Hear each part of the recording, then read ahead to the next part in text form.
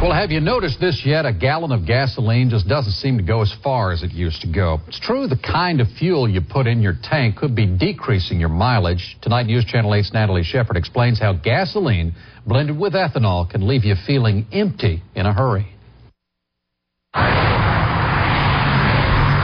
Max's Market is known for its gyro sandwich and friendly service. Lately, it's earned another distinction among loyal customers. Sean Park makes sure to fill up here every week. Because I drive this uh, big Denali here and it's a gas guzzler, um, there's no ethanol in Max's product. Max's Market is one of the only gas stations in Sarasota selling gasoline that's not blended with 10% ethanol.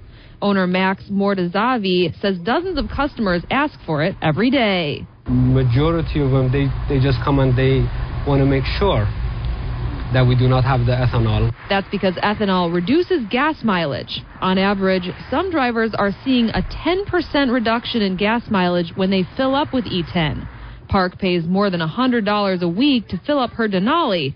She says a tank of ethanol blend only lasts four to five days. There's just not as much bang for the buck. E10 is something drivers are going to have to get used to. Starting in 2011, all gas sold in Florida has to contain at least 10% ethanol, and Mortazavi believes it could be sooner than that.